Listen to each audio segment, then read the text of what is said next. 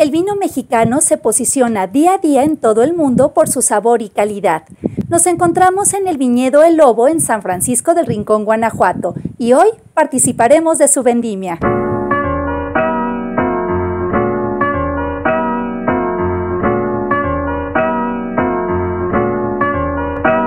En el 2008 empezamos con este proyecto del, del viñedo. Viñedo se llama Lobo, Viñedo El Lobo. El día de hoy estamos haciendo lo que se llama la vendimia, que es cortar la fruta, ya sea para comerla como uva de mesa o para hacer vino. Eso es lo que significa vendimia. Luego das gracias por la cosecha y eso es lo que es una real vendimia. Y el día de hoy se nos ocurrió esta idea de hacerlo por primera vez. Pasaremos a la zona de producción para que vean cómo se hace el vino. Al final del día comeremos todos juntos y daremos gracias por la cosecha recibida.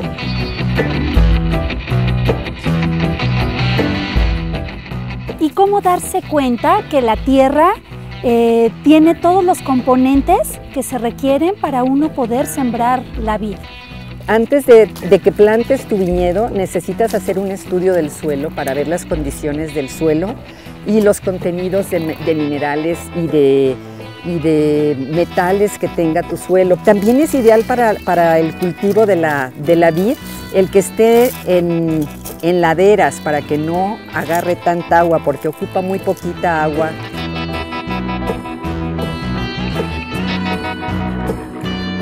Tenemos básicamente cinco variedades de uva. Tenemos Tempranillo, Merlot, Shiraz, Sinfandel y Malbec. Los nombres de nuestras etiquetas son nombres de ópera porque nos encanta la ópera también. Y también tenemos ah, uva de mesa Red Globe, que es para la que te comes normalmente y que desde hace rato las personas que viven por León quizá la han estado probando sin saber que proviene del viñedo El Lobo.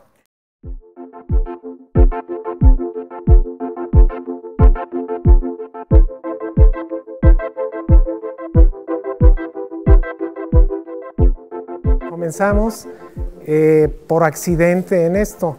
Eh, fuimos a tomar un curso en Ensenada sobre fabricación de vino, pero buscando más conocer sobre el proceso de fermentación y nos gustó mucho el, proceso del vino. Nos trajimos eh, vides de Ensenada y de Coahuila y de Aguascalientes.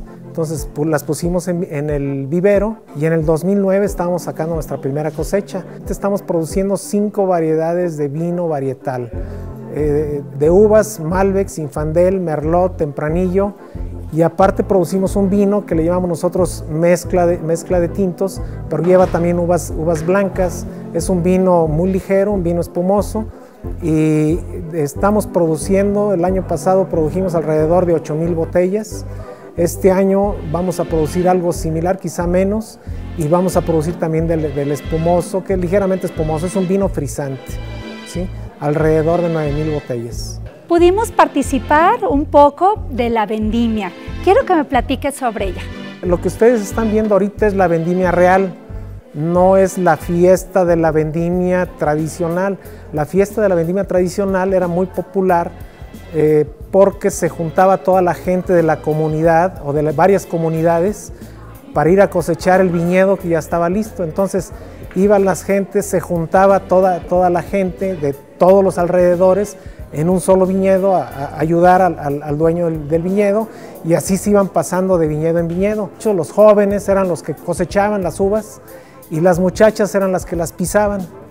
En ese entonces se usaban las faldas largas. Lógicamente para pisar las uvas las muchachas se tenían que arremangar las faldas y enseñar pierna a los muchachos. Los muchachos se les llamaba muchísimo la atención y eso hacía que se formaran muchas parejas y era la fiesta de donde salían también muchos noviazgos y matrimonios. Entonces por eso eran tan populares las fiestas de la vendimia. Ahora son totalmente mecanizadas y les está tocando a ustedes ver cómo es una vendimia real, ¿verdad?